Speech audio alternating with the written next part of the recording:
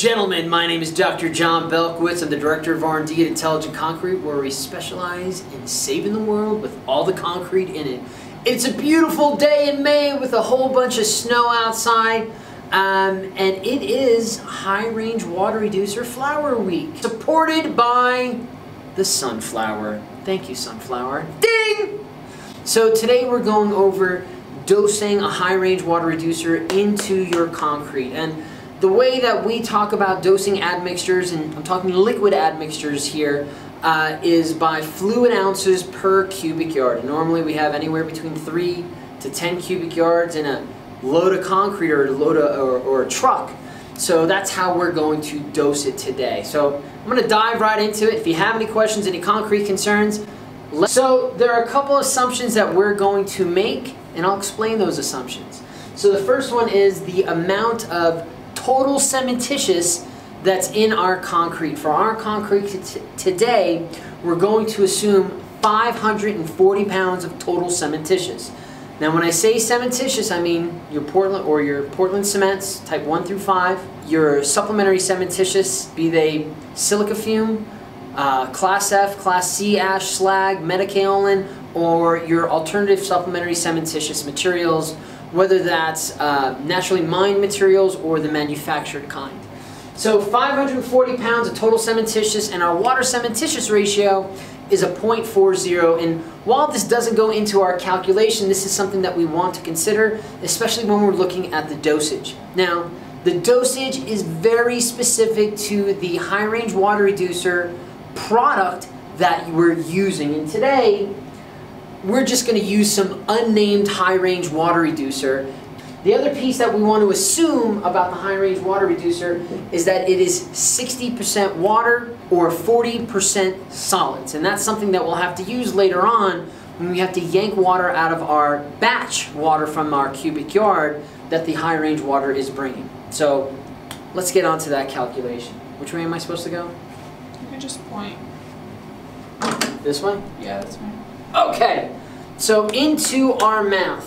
Um, I, I, mentioned it before, the high range water reducer dosage is going to be dependent on a few things. The first thing is back of the soup can, what the manufacturer tells you about the high range water reducer, how to use it in the dosage, and that's going to be dependent on not only the concentration of the polycarboxylate in there, but also the other bells and whistles that they put into the high range water reducer, not only to get that initial slump or that initial spread, but also that slump and spread over time, we call it a slump life or slump evolution, or any other tricks that they're trying to get into this high range water reducer package. So for our unnamed high range water reducer, we're going to be using a dosage of 4 fluid ounces per CWT per cubic yard. And if you don't know what a CWT means, it means cement 100 weight. So for us, we're using cementitious, and we have a total of 540 pounds of cementitious per cubic yard.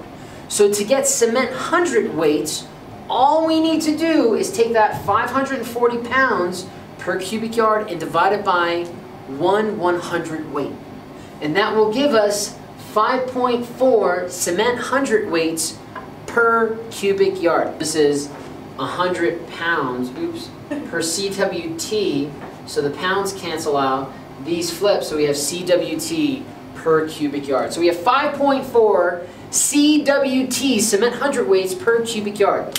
And then what we do is, we're just using that dosage rate that we've decided on and multiply it by our CWTs. So fluid ounces of our high range water reducer per cubic yard equals 5.4 CWTs times 4 fluid ounces per CWT or cementitious hundredweight. And that gives us 21.6 fluid ounces per cubic yard. Now that is your high range water reducer admixture in a liquid form.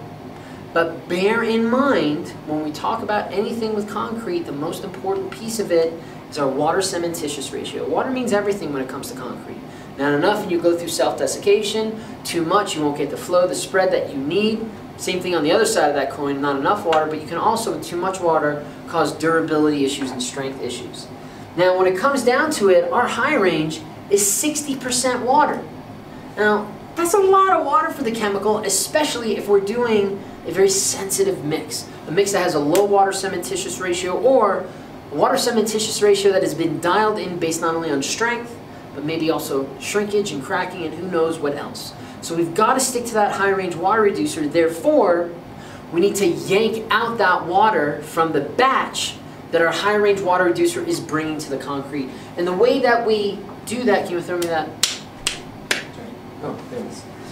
That marker again, we take our water reducer dosage, which is 21.6 fluid ounces, we multiply it by 60% because that's our water content of our high range water reducer, and that gives us 12.96 fluid ounces per cubic yard of water that we need to take out of our batch water. Now, normally that's a fairly difficult thing to do.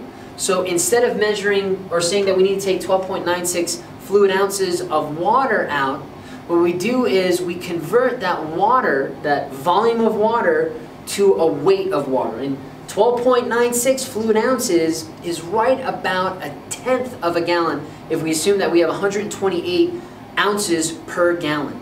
And every gallon of water weighs around 8.345 pounds. So if we have a tenth of a pound, or a tenth of a gallon, that means our weight of water that we need to take out per cubic yard is just under a pound, or around 0.8345 pounds of water that we need to take out of our batch water per cubic yard of concrete. And if you have 10 cubic yards of concrete, that means you need to trim out or remove 8.345 pounds of water. Wow, that's a lot of points and that's a lot of numbers.